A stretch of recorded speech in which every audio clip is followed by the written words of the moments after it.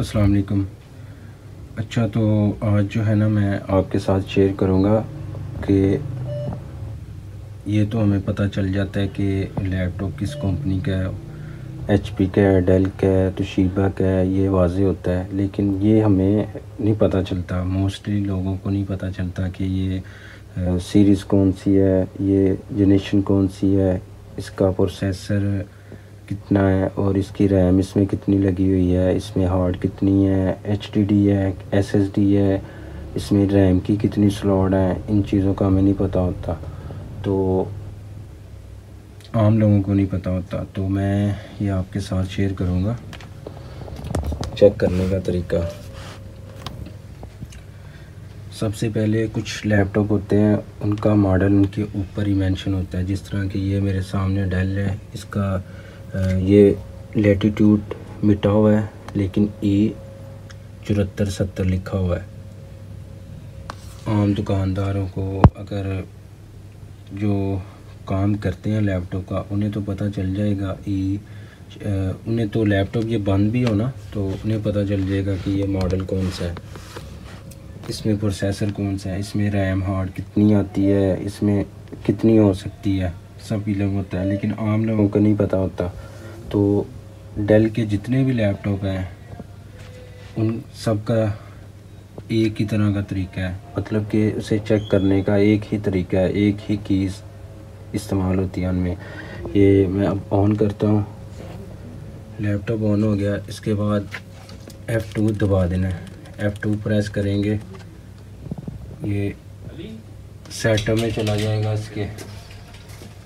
इसके सेटों में चला गया और यहाँ ये है इसका डेल, ऊपर लिखा आ रहा है डेल लेटीट्यूड ई चौहत्तर सत्तर। लैपटॉप का मॉडल है। ये इंफॉर्मेशन है इसकी जितनी भी है। ये बायोस वर्जन सर्विस टैग और जो भी जो लिखा है ना, ऊपर सब कुछ है। ये मैन्युफैक्चरिंग डेट है। जो भी है इसके ऊपर मेंशन है सब कुछ। और इसमें अभी रैम ये मेरा माउस आप देख रहे हैं। ए साइज़ मतलब इसमें दो रैमें इंस्टॉल है, हो सकती हैं। अभी इसमें एक लगी हुई है, आठ जी की, ठीक है। और नीचे बी अभी फ्री है मतलब आप इसमें आठ और लगा के इसे सोलह जी कर सकते हैं। और ये नीचे आ जाए प्रोसेसर ये प्रोसेसर इसका आई सेवन सिक्स जनरेशन है टू पॉइंट सिक्स ठीक है। इसमें प्रोसेसर आईडी ये, वो सब कुछ मेंशन है। इसके बाद आप इस नीचे आ जाएँ। ये प्राइमरी हार्ड ड्राइव इसमें दो सौ छप्पन एस लगी हुई है। अगर आप ये S two zero eight N T ये वाला आप गूगल पे जाकर टाइप करेंगे, ऊपर इसकी शो करवा देगा कौन सी हार्ड है, कितनी जी बी है, जो भी है। इसमें graphic card video card install नहीं है। इंटेल का ग्राफिक लिखा हुआ है जो इसका अपना होता है। ऑलरेडी हर लैपटॉप में होता है वो। वो चौंसठ एम बी है। और चौदह ज़ीरो इसका स्क्रीन साइज़ है। और फुल एच डी स्क्रीन है इसमें। और उसके बाद आपने आ जाना है ये बैटरी इंफॉर्मेशन पे। बैटरी इसकी परसेंटेज 94 परसेंट चार्ज है बैटरी और हेल्थ इसकी एक्सीलेंट है। एसी अडाप्टर फ़िलहाल इंस्टॉल नहीं है इस पर तो नोट इंस्टॉल उधर कह रहा है। दूसरी बात, जब आप अडाप्टर इंस्टॉल करेंगे ना, अक्सर इन मॉडलों में डेल की जो फिफ्थ सिक्स जनरेशन है, अक्सर फोर जनरेशन में भी कंपेटिबिलिटी का इशू आता है काफ़ी ज़्यादा। जो डॉक्टर कंपेटिबल नहीं होगा, वो ऊपर साइन आपको दे देगा। मैं अभी आपको ना चेक करवाता हूँ। ये डेल का चार्जर है मेरे पास। ये मैंने चार्जर लगाया ये ऊपर शो करवा रहा है। नब्बे वोल्ट का चार्जर अभी मैंने लगाया और बैटरी चार्ज करना शुरू हो गया इसका मतलब ये कंपेटिबल है। इधर से उतारूँगा चार्जर बैट वापस और ये अब नोट इंस्टॉल आ रहा है। उसके बाद इसका बूट की ये सेटिंग है legacy U F I U E F I ठीक है? उसके बाद ये टाइम डेट अगर आपने सेट करना है, अगर आपका टाइम डेट ख़राब हो रहा है बार बार तो उसे सेट करने का ये तरीका है। बाकी जो है इंफॉर्मेशन भी इसमें मौजूद है। अगर आप बायस को पासवर्ड लगाना चाहते हैं स्कोल्टी वीडियो कार्ड ये वो सारा कुछ मतलब कि इसमें शो हो रहा है। एक ये तरीका है। और स्केप करके अगर आप चेक करना चाहते हैं लैपटॉप में, कोई फॉल्ट वगैरह तो नहीं है तो आप F12 प्रेस करेंगे।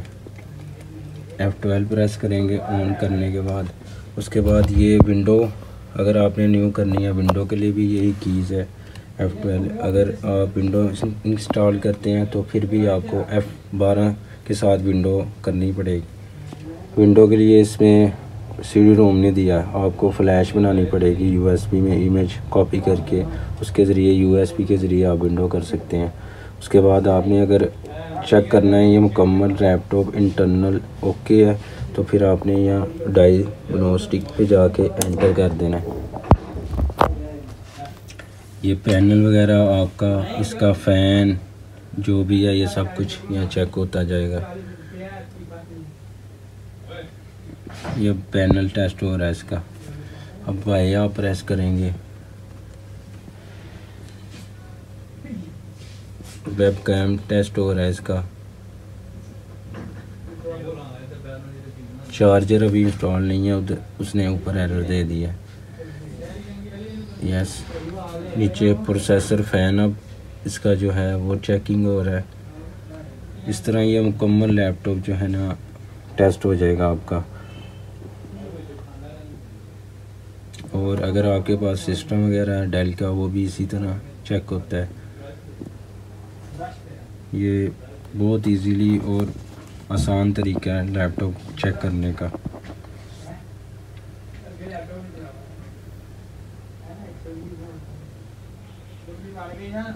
इसका प्रोसेसर चेक हो रहा है।